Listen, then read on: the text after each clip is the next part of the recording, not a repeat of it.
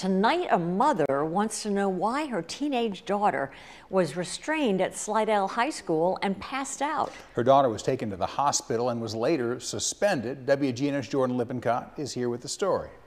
Kurt Susie, Susan Wheeler, the mother of a Slidell High School freshman, says she has more questions than answers after her daughter was involved in a verbal altercation with another female student last month.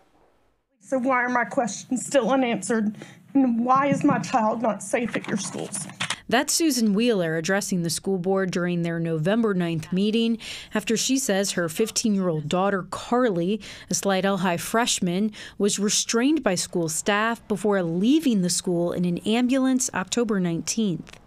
But while she was in the ER, they told my husband that it was more than likely her anxiety had gotten so high that she had passed out.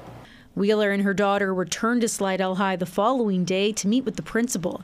They were handed this behavior report stating Carly would be suspended for five days for causing a disturbance and instigating a fight with a female student, which was also noted as a verbal altercation. Wheeler says she demanded to see video of the incident, but was told it would take two weeks for redaction. She says she saw an unredacted version Tuesday, almost four weeks later but it literally started, Carly's already on the ground.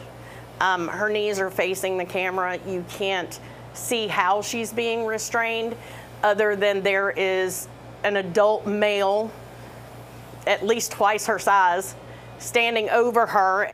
Wheeler also says Carly has had a 504 plan with the St. Tammany Parish school system since she was in the first grade. Section 504 protects students with disabilities and ensures them accommodations. I want to make sure that all the principals and staff in the administrative portion and the disciplinary portion of the school are aware of what parents like myself that have students that are have kids uh, with a 504 plan what they are entitled to have when incidents happen. Wheeler is hopeful she will receive more clarity when meeting with Slidell High's principal and 504 plan coordinator on Friday. According to a spokeswoman for St. St. Tammany Parish Schools, under state law, they are prohibited from discussing the disciplinary action of any student. Susie Kurt. Wow, I think a lot of parents can relate wanting to know the answers. Thanks, Jordan.